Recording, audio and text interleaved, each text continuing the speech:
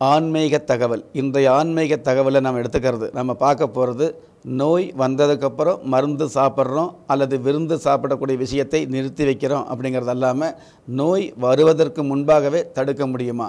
ஒரு விஷயம் வந்ததுக்கப்புறம் தடுக்கிறத விட அந்த ஒரு கெடுதல் வருவதற்கு முன்பாகவே தடுக்கக்கூடிய அளவுக்கு வழிபாடு அல்லது வேறு ஏதாவது பரிகாரம் இருக்குதா அப்படின்னு எடுத்துக்கிட்டிங்க அப்படின்னா எவ்வளவோ விஷயங்கள் எவ்வளவோ பரிகாரங்கள் எவ்வளவோ வழிமுறைகள் எவ்வளவோ வழிபாடுகள் இருந்துகிட்டு இருக்குது நோய் வாராமல் தடுக்கிறதுக்கு.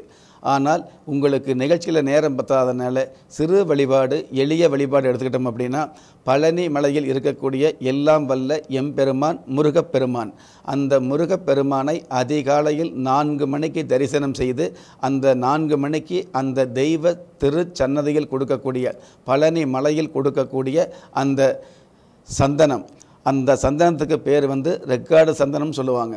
இரவு நேரங்களில் சாமியுடைய விக்கிரகத்தில் அந்த சந்தனத்தை வந்து அதாவது அப்ளை பண்ணி அந்த சந்தனத்தை பூசி வச்சு அடுத்த நாள் காலையில் நாலு மணிக்கு பிரம்ம முகூர்த்தத்தில் அந்த சந்தனத்தை எடுத்து கொடுக்கும் பொழுது அந்த சந்தனத்தை நாம் பருகும் பொழுது அந்த சந்தனத்தை நாம் வந்து பயன்படுத்தும் பொழுது நிச்சயமாக உங்களுக்கு வரக்கூடிய நோயிலிருந்து தடுதல் கிடைக்கக்கூடிய தற்காப்பு கிடைக்கக்கூடிய பாக்கியத்தை உணர முடியும். இதில் இன்னொரு விஷயம் என்னென்னு கேட்டிங்க அப்படின்னா இந்த வரக்கூடிய நோய் தடுக்கிறதுக்கு கொடுக்கக்கூடிய இந்த சந்தனத்தில் வந்து சுவாமியுடைய விக்கிரகத்துடைய தொப்புள் பகுதியில் இருக்கக்கூடிய சந்தனம் எந்த புண்ணியவான்களுக்கு எந்த பாக்கியவதிக்கு கிடைக்குதோ அந்த பாக்கியவான்கள் நிச்சயமாகவே காலம் கலிகாலமாகவே இருந்தாலும் நோய் வாராமல் தடுக்கக்கூடிய பாக்கியத்தை உணர முடியும்.